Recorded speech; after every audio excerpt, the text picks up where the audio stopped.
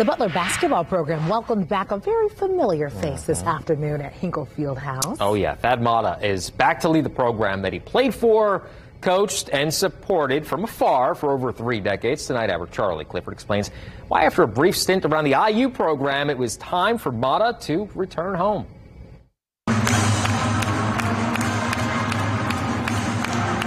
My youngest daughter Emily's been like, you need to take that job. You need to take that job. You need to take that job. It means the world to be back here and excited to get going. 396 text messages waited on Thad Matta's phone minutes after the news broke. The decorated coach, five years removed from having to leave Ohio State due to chronic back and foot issues, is heading home to Butler. When, when I left Ohio State, I, I, just I needed a break. I feel like I've gotten myself back into fighting shape. It just kept evolving, and, and I think you know me going and doing what I did last year was was something of like you know what, if it comes up, the right situation.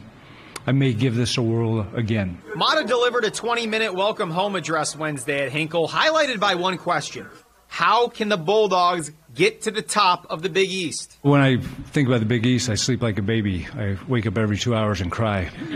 Um, I'd put it up against any league in, in the country, bar none. The journey, the people, they're curious how has Thad Matta changed since the last time we saw you in here in the most important seat at the university? Well, you know, it's, it's been an unbelievable ride in, in terms of, of all the, as I said, all the places, everything that I've done. Um, you know, I, I hope that they say that uh, wisdom comes with age. I hope I'm a, a lot smarter. I know that uh, I remember coaching my first game in here. Uh, eight minutes into the game, I got a technical foul.